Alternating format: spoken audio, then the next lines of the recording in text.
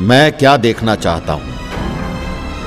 आज सारा देश सड़क पर है। गुस्से में है।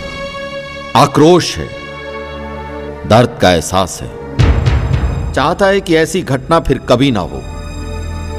कोई तो फांसी की मांग कर रहा है और कोई सख्त से सख्त सजा की मांग कर रहा है। लेकिन मैं मैं क्या चाहता हूँ? मैं देखना चाहता हूँ कपड़े में ढके अदालत ले जाते उन बहशी दरिंदों के चेहरे को। उनके चेहरे पर वैसी ही पीड़ा को, जो दामिनी के चेहरे पर थी। वही तकलीफ़, जो दामिनी ने सही। वही घाव, जो दामिनी के बदन पर थे। लेकिन मौत का खौफ, जो दामिनी के चेहरे पर नहीं था। पल पल मौत को तरसने के वो लम्हे, जिन्हें देखकर कोई भी यह अपराध करने की हिम्मत ना करे।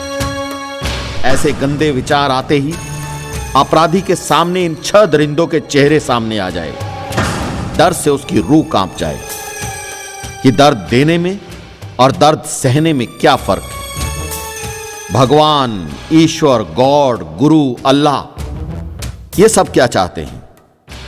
कहते हैं कि भगवान, ईश्वर, गॉड, गुरु, अल्लाह सब देखता है। और फिर उसे दंड देता है। उसे अपने कर्मों का फल भोगना पड़ता है। बस, आज हमारे हुक्मरानों को इसी सोच की ज़रूरत है। फिर सोच क्या रहे हो?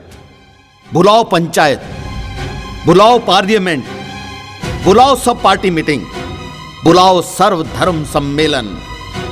करो एक ऐसा फैसला कि अपराधियों की कुकर्म करने से पहले ही उनकी रूह काँप जाए। और सड़क पर रात दिन खड़ी इस आवाम के दिल में शांति आ जाए, शांति आ जाए।